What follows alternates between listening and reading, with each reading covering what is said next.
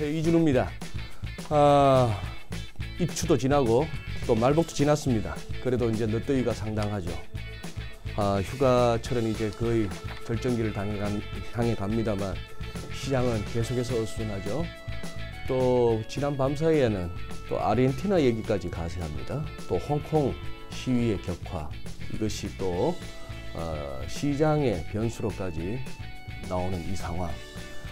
어, 홍콩 관련해서는 2부에서 박승찬 교수님 모시고 얘기를 하고요. 아르헨티나는 좀 더 사태 추이를 봐야 될 것 같습니다.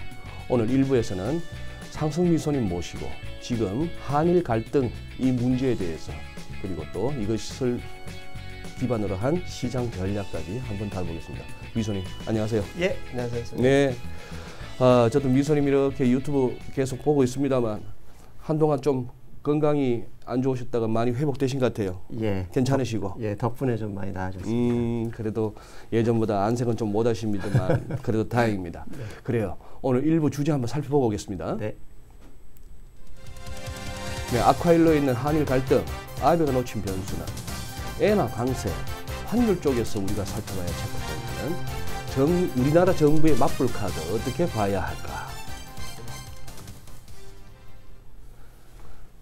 자, 이게 7월 1일이죠. 예. 일본에서 우리 뭐 반도체 핵심 소재 세개 수출 규제하겠다고 예. 발표하고 뭐 그랬던 7월 1일부터 해서 이제 한 달 반을 거의 뭐 달려옵니다만 그동안 뭐 국내 언론에서는 하루도 빠지지 않고 아침 저녁으로 계속 얘기했고 예. 네.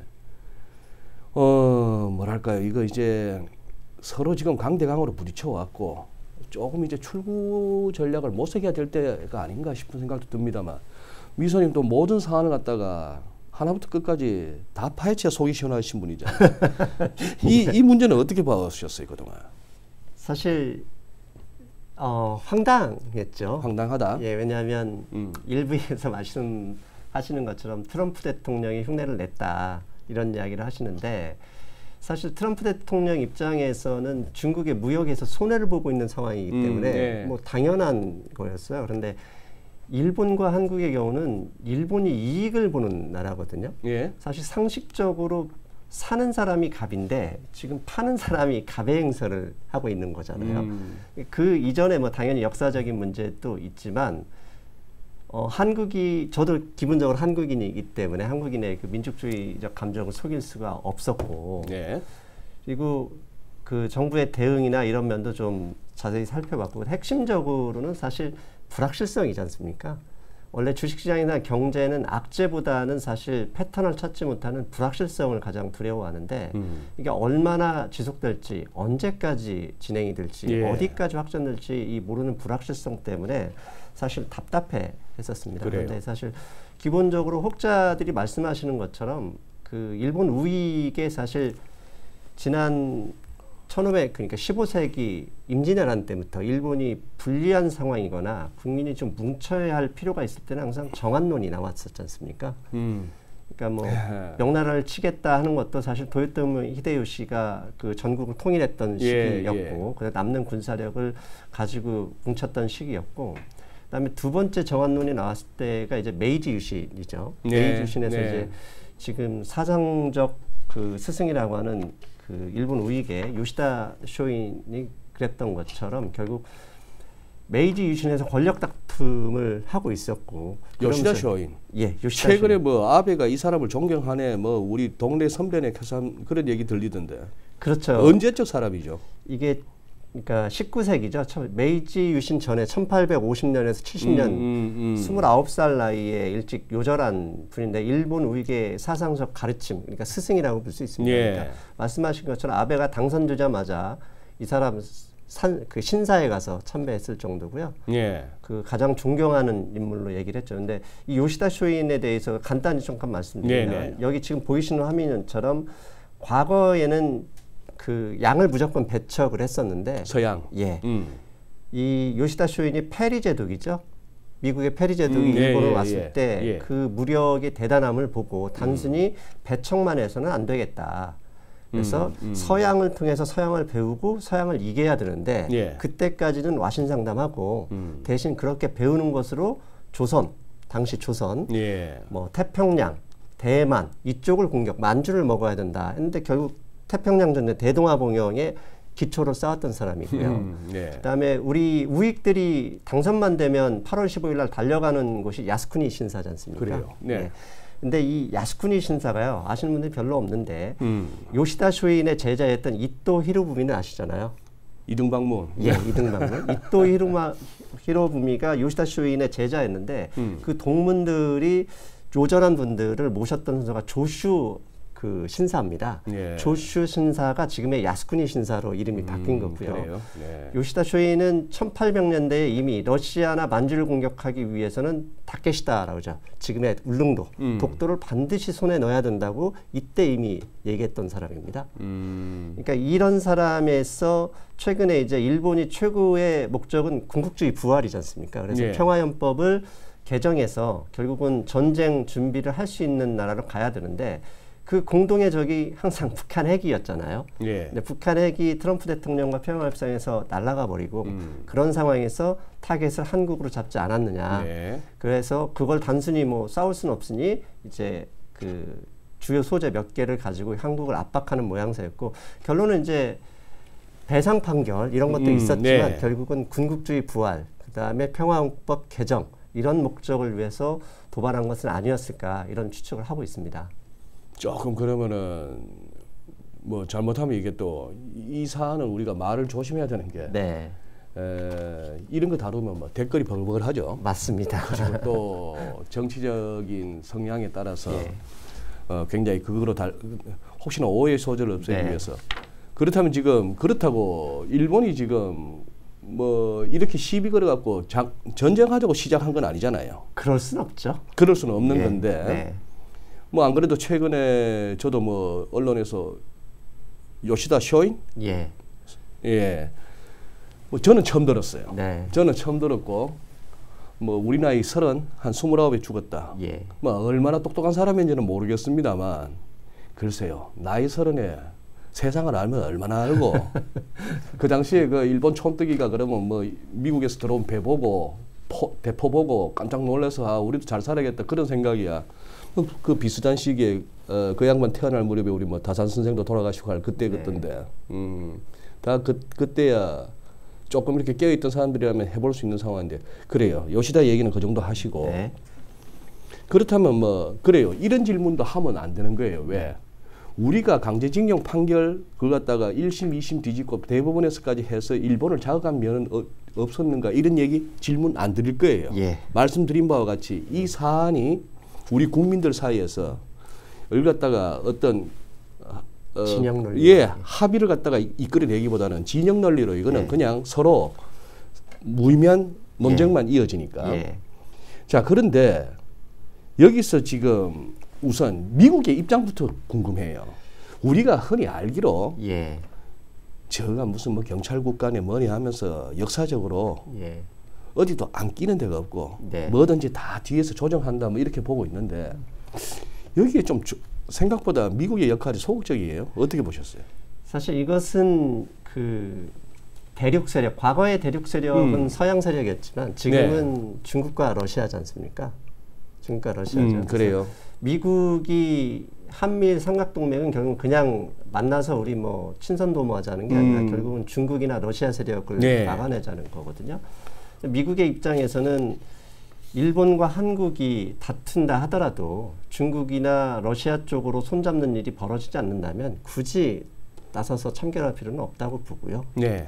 그다음에 어제 김현종 그 예, 예. 그분 인터뷰한 거 보니까 그렇거든요. 와서 도와달라 그러면 결국 청구서가 날라온다는 의미는 저는 맞을 맞, 맞는다고도 보고요. 음, 음. 그다음에 일본이 아무리 지금 그 경력이 커졌다고 한들 지금 일본 GDP의 거의 25%를 차지하는 게 자동차 산업이고 그래요? 그 네. 자동차 산업이 결국은 미국에 다 거의 다 의존돼 있지 않습니까? 음. 그래서 지난번에 USMCA 즉 나프타를 개정할 때도 일본이 가장 힘들어하고 음. 그런 상황에 당장에 올해 안에 지금 그 미국과의 자동차 협상, 이 예. 관세 협상을 예. 해야 되는 상황 입장에서 미국의 말을 함부로 무시하거나 할 수는 없을 겁니다. 음, 그런데 미국이 굳이 얘기를 않는 이유는 결국은 한미일 동맹에서 핵심은 결국 군사 이 중국이나 러시아를 견제하는 그 부분이고 예. 그 부분에 대해서 굳이 지소미아 같은 뭐그 음. 군사정보 보호 예. 협정을 파기하거나 그런 게 아닌 이상 미국이 굳이 현재는 뭐 관여하지 않고 있지 않나 그렇게 보고 있습니다. 음,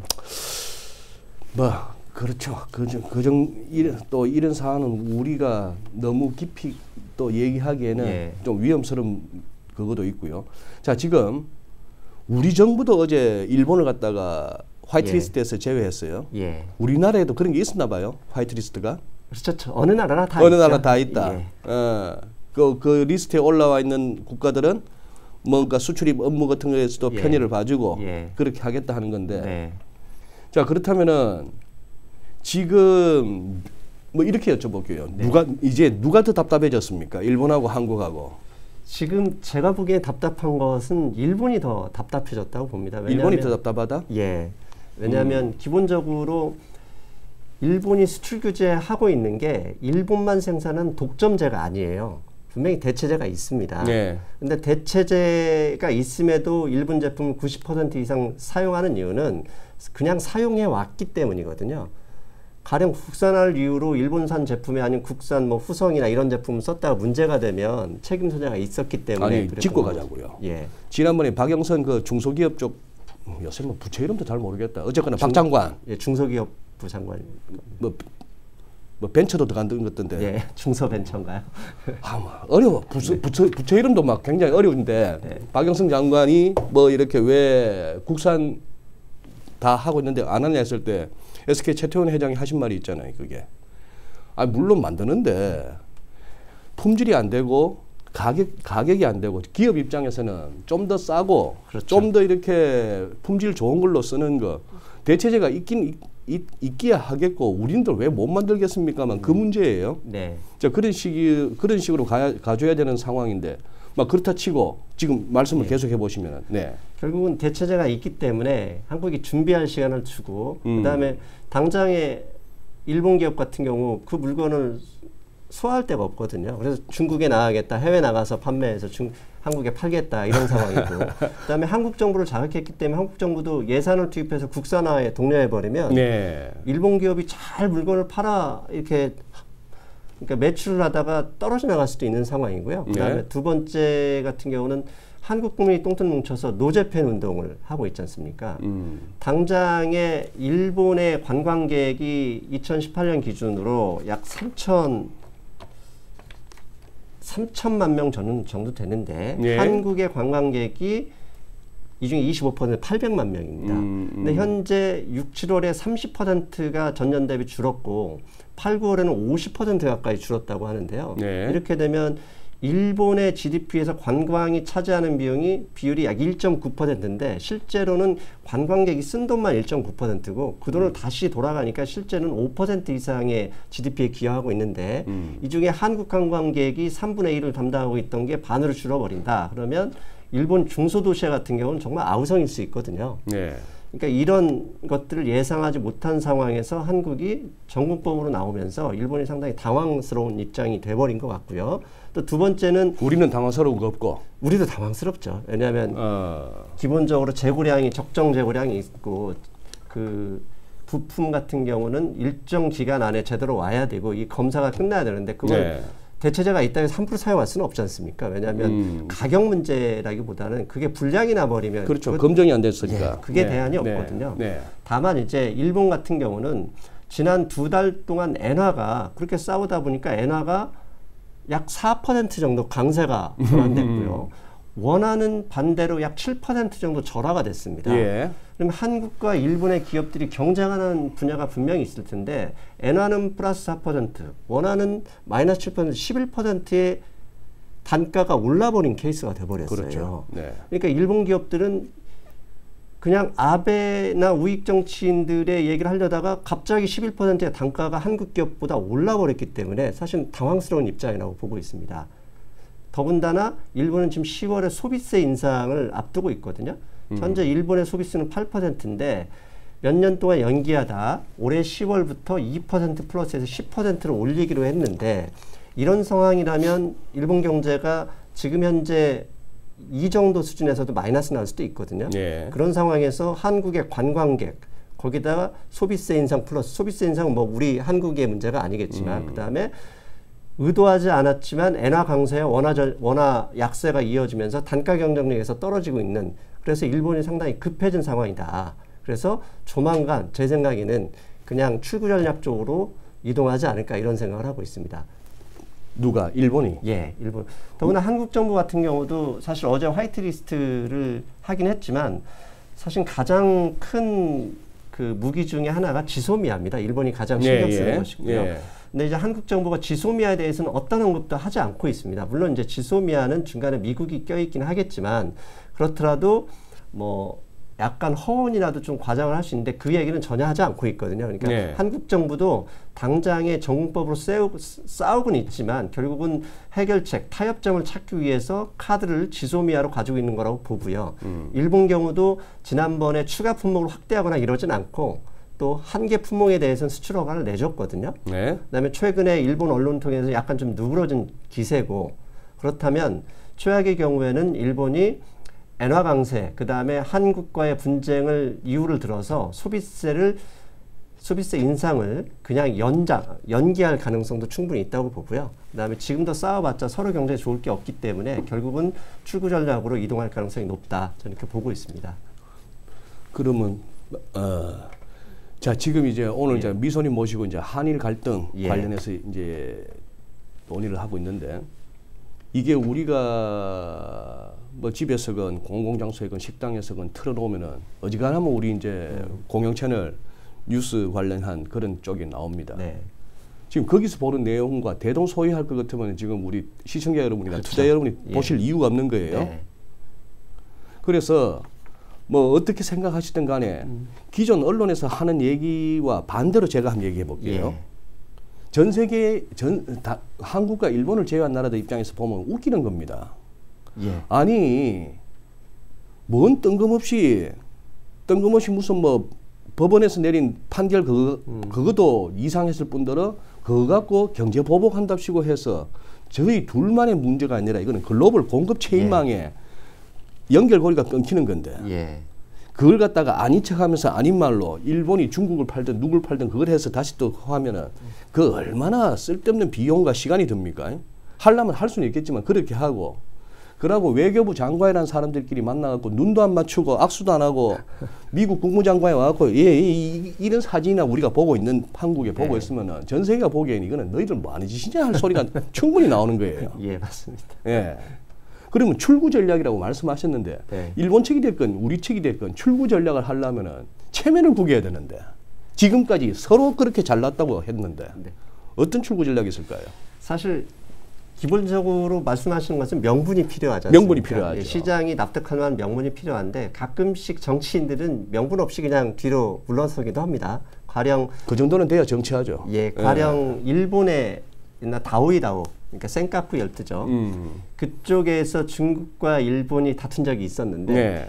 그때 먼저 시비를 건 게 당연히 또 일본이었고 예. 중국이 그러면 관광객 안 보내 그 다음에 뭐 히토류 예. 무기화하겠다 그러니까 그랬죠. 소리 소문 없이 그냥 조용히 빠져나간 적이 있었거든요. 예. 그러니까 그럴 수도 있는 거고 아, 두 번째 예. 는 명분이 필요하다 그러면 최근에 북한의 미사일이 물론 단거리긴 하지만 예, 예. 계속 쏴 쏘고 있어요. 그러니까 예. 속상한 얘기는 하지만 일본 측에서는 사실 지난번에 600km다 한 것도 일본 애들이 밝혀낸 거거든요. 일본 예. 정부가 한국은 그러니까 단거리라고 생각했는데 그럼 600km 사거리야 600km면 결국은 일본도 가시권이지 않습니까? 그렇죠. 그다음에 그 북한 미사일을 근거로 해서 지소미아 음. 그다음에 그러면 한미일 동맹이 또 이어질 수밖에 없거든요. 네네. 거기에 최근에 이제 미국이 아시아 지역에 미사일을 논다면서 중국과 러시아가 반발하고 있는 모양새지 않습니까? 예. 그 연결고리를 충분히 그 다시 합의해서 잘 지내보자 이렇게도 나올 수 있는 가능성 은 충분하다고 봅니다. 음. 아니 제 주변에 예, 이런 거예요. 자, 아닌 말로 엔화가 강세가 돼버리고 예. 우리 원하는 약세가 돼버렸다. 엔원 환율 생각해 보시죠. 엔원 예. 환율. 엔원 환율이 이러다가 이러다가 지금 벌써 뭐 1150 이런 상황까지도 왔는데 뭐 지금 예를 들어서 백 백오엔도 무너지고 연초에 봤던 백사엔 flash crash 예. 전에 요새 환율 보면서 그 시장의 그 뭐랄까 오래된 어떤 부- 관행 비슷하게 불문율 비슷하게 미소다가 됐건 뭐 flash crash가 됐건 찍었던 레벨은 곧 간다 예. 했는 게 연초에 백사엔 찍었는데 이거 백사엔 곧볼 것 같아요. 네. 뿐만 아니고 백엔 쪽도 갈 것 같아요. 네. 지금 돌아가는 분위기가 얘가 백엔쯤 가고 우리가 환율이 1250만 가더라도 1250 나누기 100 해버리면 엔원이 1250이 되는 거예요. 네. 그러면은 일본이 수출 가격 경쟁력은 힘들다 하지만 제 4천만 해도 그래요. 형님 죽을 맛입니다. 지금 일본에서 안 돌아오면 우리는 공장이 안 돌아가는데 음. 이게 지금 단가가 이렇게 돼버리니까 예. 이 지금 그런 거죠. 지금 일본 니케이가 7월 1일 이후 장, 어제까지 한 2.8% 빠졌습니다. 예. 우리 코스피가 어제까지 7월 1일부터 좌우지간 이 사태 벌어진 이후부터 9%, 예. 코스닥이 14.5% 떨어졌어요. 엔원 재정 환율은 6월 말에 100엔당 1,070원 하던 게 1,150원까지 왔어요. 지금 보면은 일본은 덜 떨어 오늘은 조금 예외입니다만 예. 일본은 주식이 덜 떨어졌고 우리는 더 많이 떨어졌고 일본 돈 가치는 올랐는데 우리 돈 가치는 낮아졌다. 그렇다면은 지금 이걸 소위 말하는 가격 배- 가, 시장 가격으로 봤을 때 성적표는 어떻게 평가가 돼야 될까요? 사실 일본이 노린 것은 한국의 대외 의존도가 높다는 점이었을 음, 가능성이 음, 높습니다. 사실 한국의 GDP 대비 무역이 차지하는 비율이 약 68%입니다. 그래요. 그 얘기는 반대로 내수 비중이 32% 아주 적다는 거고 음. 반대로 일본은 내수 비중이 한국보다 두 배가 큽니다. 음. 그렇다면은 환율 변수든 이런 대외 변수든 결국 일본과 대외 변수이기 때문에 네. 항상 피해를 보는 것은 내수가 작은 나라거든요. 그렇죠. 그렇죠. 한국이 좀 더 피해를 볼 수밖에 없었고 그 말은 또 뒤집으면 우리가 인구수 인구가 일본보다 절반도 안 되니까. 그렇죠. 예. 기본적으로 내수가 돌아가려면 최소한 8천만 명 이상이 돼야 네. 된다는 한데 네. 그래서 필요한 건 사실 그래서 문재인 대통령이 최근에 뭐 북한과의 평화 협력을 음, 통해서 음, 일본을 음. 넘겠다 이런 말씀을 하셨다고 생각하기도 하고요. 그다음에 또또 무시할 수 없는 게 일본의 엔화는 기축통화입니다. 준기축 통화죠. 예. 지금 현재 우리는 지난주 같은 경우는 연기금이 약 1조 원 정도를 매수했지 않습니까? 네. 시장을 방어했는데 네. 일본의 경우는 중앙은행이 직접 사버립니다. 그래요. 예. 이게 블룸버그에서 제가 가져온 자료를 화면에 잠깐 보여드리겠는데요. 일본 밑에 보면 ETF의 보유 비율입니다. 근데 예. ETF를 일본 중앙은행 BOJ가 지금 보면 74%를 보유하고 있습니다. 그러니까요. 그러니까 돈 찍어서 그냥 일본 주식을 사버리기 때문에 이게 한국 주식하고 비교하면 사실 답이 저, 없죠. 답이 없네요. 이제 혹자는 이런 말씀을 한국도 음. 같이 하면 될 거 아니냐 그러면 우리는 큰일 나죠. 예, 기축 통화가 예, 아닌 예, 예. 우리 이머징 통화가 양적 완화를 함부로 하거나 음. 이렇게 머니프린 통해서 주식을 산다 그러면 환율 폭락이 나올 수도 있거든요. 네. 네, 그런 면에서 보면 사실은 경제적인 관점, 투자자의 관점에서 보면 이 불확실성을 확전하는 건 좋은 게 아니라고 봅니다. 음. 그러니까 완벽하게 일본을 누를 때까지 마치 요시다 쇼인이 1800년도에 예. 서양한테 굽히면서도 배워야 된다고 했던 것처럼 음. 지금 정부가 당당하게 대응하는 건 당연히 잘하는 것이고 하지만 네. 한편으로는 대통령은 당연히 그렇게 얘기를 하셔야죠. 네. 하지만 정부 관례들은 함부로 인기를 뭐 얻기 위해서 그런 음, 얘기만 하면 되고 네. 뒤에서 일본 정부들하고 열심히 타협점을 찾아야 된다고 보거든요. 네. 근데 그나마 하나로서 결국은 요새 그 지소미아를 확전을 시키지 않은 것을 상당히 좋게 보고 있고요. 음. 더군다나 아까 말씀드린 대로 한국이나 일본이나 이 supply chain이 이렇게 급격하게 무너지면 좋을 데가 없습니다. 그렇죠.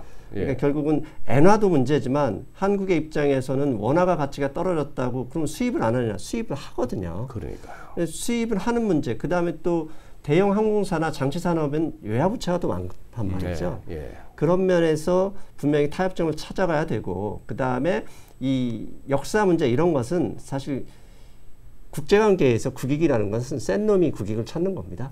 그거야 뭐. 와신 상담 절치부 심해서 한국이 일본의 소재에 휘둘리지 않을 정도로 마침 잘 됐습니다. 이번에 좀더 예. 이제 장기적인 관점에서 예, 장기적인 하나의 관점에서 또 극이 되죠. 예. 세용지마가 되는 거죠. 예, 네. 그렇게 해야 된다고 보고 있습니다. 음, 그래요. 시간은 얼마 없고. 네. 자, 그러면은 미소님 지금 최근에 시장 흐름을 어떻게 보시는지 궁금해요. 지금 어지가 뭐랄까 미국도 그렇고 전반적으로 예. 예전에 장이 잘 갈 때는 힘이 있을 때는 말이에요. 어지간한 악재도 그냥 무시가 되는데 예. 지금은 소소한 악재에도 낙폭이 커지고 좀 이렇게 뜰만한 재료가 나와도 잘 못 가요. 예, 맞습니다. 지난번 나오셨을 때하고 지금하고 조금 이렇게 뭐 뉴욕 증시나 우리 시장 보시는 어떤 뷰가 좀 변화가 생기신지. 저는 지금 음. 현재 지수가 S&P 500이나 나스닥 전부 다 200일선 위에 있거든요. 아직은 예, 음, 200일선 음. 위에 있고 작년 10월에서 12월 3개월 동안 하락한 게 다우지수 기준으로 5,500포인트가 빠졌었습니다. 작년. 예. 예, 근데. 지금은 2,500포인트 정도 빠졌거든요. 네. 그것도 50일선과 200일선 중간에 깨 있는 상황이기 음. 때문에 지금 조정을 하는 과정이라고 보는데 음. 다만 왜 갑자기 이렇게 나왔느냐 네. 하면 오늘 현재 오늘 새벽에 이제 미국의 10년 만기 국채 금리가 1.6 정도 됩니다. 그래요. 많이 1.6이면 떨어졌죠. 언제냐면 기준금리 0% 수준일 때입니다. 제로금리 할 2015년 때. 때. 예, 예, 제로금리요. 예. 그래서 오늘 새벽에 제가 골드만삭스, 모건스탠리, BOA, UBS 등 거의 모든 월가의 투자은행, 증권사들이 제로금리 얘기를 리포트를 다 냈습니다. 그래서 제가 그렇더라고요. 제 예, 유튜브에서 예, 목요일 날 예. 이렇게 방송을 낼 생각인데요. 네. 그렇다면 결국은 트럼프 대통령이나 그다음에 자본들, 이 음. 월가의 자본들이 원하는 건 금리 빨리 더 내려라. 네. 그리고 이게 지금 미국만이 문제가 아니라 한국 같은 경우도 10년 만기 채권 금리가 가장 최저점이 2016년 6월에 1.35를 하회했습니다. 그랬죠. 한국도 지금 장단기 금리 역전이 돼 버렸거든요. 뭐 한참 됐고. 예. 네. 그 얘기는 뭐냐면 결국은 한국도 금리 인하해라. 음. 최근에 글로벌 중앙은행들이 뭐 뉴질랜드부터 네. 금리 인하에 동참하고 있지 않습니까? 네, 네. 중국을 압박하는 것도 결국은 중국의 금리 인하를 노리는 포석일 거라고 생각하고요. 중, 중앙은행들 중국 보- 중국 보- 중국 중국 보고 금리 조차도요. 내려라. 그러니까 음. 중국 같은 경우는 이제 위안화의 환율 조작으로 선정했지만 환율 조작국 선정하니까 중국은 대놓고 위안화를 더 약세로 예. 전환시켜 버리고 있잖아요. 예. 그러니까 그런 것을 볼 때 미국 그다음에 조만간 한국 그다음에 다른 중앙은행들도 결국은 금리 인하에 동참하면서 유동성 랠리를 좀 트럼프가 원하는 건 아닐까. 그리고 시장, 금융시장, 월가 월가의 자본들이 그걸 원하는 느낌으로 결국 200일선에서 지켜주지만 가끔씩 심하게 폭락시키면서 변동성을 높여가는 건 아닐까 이렇게 보고 있습니다. 음. 그 지금 뭐 조금 조금은 그렇게 한 한 달 전, 두 달 전 대비로는 조금 이렇게 리스크 매니지먼트의 어떤 필요성을 느끼시는구만요. 그렇죠. 왜냐하면 저- 저도 사람이기 때문에 음, 이게 음. 아무리 no라고 하고 싶어도 이게 아, 욕먹을 각오하고 얘기하는 게 쉽지가 않습니다. 주변 환경에 이게 적응이 돼야 되기 때문에요. 그러니까요. 예. 지난번 지난주 Black Monday 때 우리가 1900도 장중에 깨지는 걸 봤기 때문에 지금 1930 그다지 뭐 여유는 없습니다. 예, 오늘 우리 또 상승 미소님하고 또 이렇게 모처럼 만나서 한일 갈등 관련해서 한번 얘기를 나눠봤습니다만 조금 더 일본 정부, 한국 정부 할 것 없이 양국의 뭐 탑다운 방식이든 뭐가 됐든 좀더 결단이 필요한 사안 아닌가 싶습니다. 예. 그래요, 미소님 고맙습니다. 예, 건강 감사합니다. 챙기시고요. 예. 네.